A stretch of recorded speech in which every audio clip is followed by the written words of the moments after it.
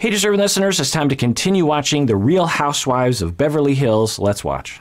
I think the way I show up when I'm dating, I think I have to stop leading with my Your s- career. Yeah, your stuff. I think sometimes guys would probably want me to be more needy, and I'm not. I think that's a thing. I want you to be you. It's all about authenticity. It's being your most authentic mm-hmm. self. I've left home when I was 17 years old. So I've been taking care of myself for a long time. Okay, I don't know, but I'm seeing some signs of avoidant attachment style. I have no idea based on the very little that was presented, but I'm hearing some red flags of that. So it sounds like Garcelle had to be very independent early in life. Usually that indicates some difficulties in your childhood that you learn, you know what, I can't depend on other people, I need to depend on myself. Now there's nothing wrong with being independent, of course, but if you if the pendulum swings swings too far, then you actually will deny your attachment needs to other people in uh, in an effort to protect yourself from being vulnerable and being hurt by other people.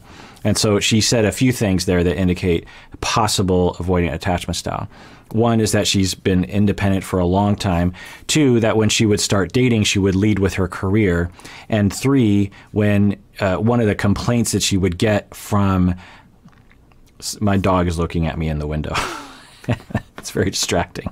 And and three, she was saying that when she was dating men or in a relationship with men, they would tell her that they would like her to need them more. That they probably felt like there was a lot of distance there and that uh, she wasn't reaching out to them for help or for dependency because usually in a well-functioning relationship there is mutual dependency on each other. Both people need each other. Both people depend on each other.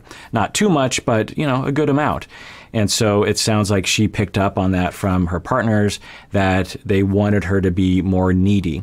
Another flag red flag of avoidant attachment is that people who are pathologically independent or avoidant attached, they will perceive emotions and vulnerability as a negative thing, as being needy. They will say, "Oh my God, everyone is so needy all the time," and I'm not a needy person. I don't, I don't care. I'm totally fine on my own. And again, there's nothing wrong with being independent, but there is something wrong with shaming yourself and maybe even shaming others for having just regular dependency on other people. So let's let's pay attention to that, and maybe we'll hear more along those lines. Mm-hmm. The opportunities that I'm getting, I have to take because that's the privilege. That's the privilege that my mom brought me to this country for. And so I have to take it. I have to do well. So it's always been I take care of me, I take care of my myself. And yeah, so all the issues that I talked about, again, I don't know if Garcelle is a candidate for this, are f- there for good reasons. People who become pathologically independent and shaming of their own vulnerability and shaming of other people's vulnerability, the reason why they do that is for very, very good reasons. When they were going up, neediness was sh- was shamed or was punished or was just completely denied. You know, they're three years old and they reach out emotionally to other people and they are neglected emotionally or abandoned or something like that. Again, I don't know what Garcelle's life was like. It sounds like Garcelle's mom was going through some difficult times. And when parents are going through difficult times, sometimes they will prioritize food and shelter and survival, and they won't have all the resources to be emotionally attuned to a child, to allow the child to be needy, to allow the child to even be a child. You know, when the parents are going through a lot, sometimes the kid the kids have to grow up really fast because there's just not enough resources from the parent to let the child be a child. Letting someone completely have my back is me relinquishing my power. I'm always like, I got it. I can do it. And I think it's because I don't trust somebody will truly have my back. Right.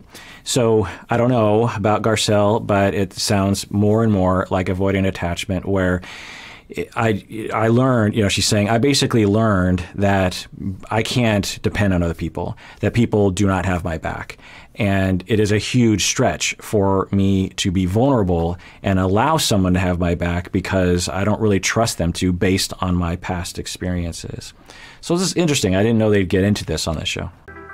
But what would it feel like, Garcelle, if you could let go for a second and let somebody else tell you, I got you? I want to get to there. This is all part of the process. On the other side of it is the relationship that you want. And that's what you deserve. Thank you. Yeah, that's great. This is a dating coach, and she is saying things that I might say as a therapist. You deserve to have someone have your back. You deserve to have a relationship where you can depend on that person and that person will show up.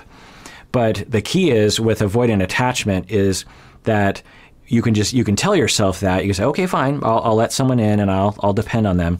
But the the key is is that when there is a threat the avoidant person will run emotionally physically. The avoidant person will run. And that results in distance and then the other person is hurt and will pull away and then the avoidant person is like see they don't have my back. But it can be at least partially as a you know due to the fact that the avoidant person is whenever there's a threat they turn away which hurts the other person. But the avoidant person doesn't really know that. They're and they're just trying to manage their own pain and their own worries and when they you know pull away emotionally they are trying to preserve themselves and they don't realize it has an impact on other people that actually causes people to do the things that they don't want them to do uh, The reason I just wanted to pull you aside is because it was brought up to me that people are still talking about us. Right. Oh, I was going to bring it up. I have to imagine it's annoying you and it's annoying me. See, here's the thing. I think it's very dangerous when we talk about each other behind each other's backs. I agree. Like I had promised you and you promised me we wouldn't talk about this. Yes, 100% yes. Triangulation is a thing that you'll have to hear me talk about, and that's what is often happening on these shows that causes a lot of destruction in the relationships. Instead of directly working it out with each other, there's talks with other people. Other people are drawn in to the tension, and if everyone is fused and undifferentiated or relatively undifferentiated, it can cause the anxiety to swirl around and increase, and you're never given an opportunity to actually resolve the issue between the two of them. So, good on them for saying, let's not talk about this with other people. Let's go right to each other and work this out. This group better not make fun of any of y'all. talk about those- Exactly. Don't, don't, don't talk about those girls. You know, I feel like I would stand up for any one of these women. I trust them, and I know they all want to be supportive.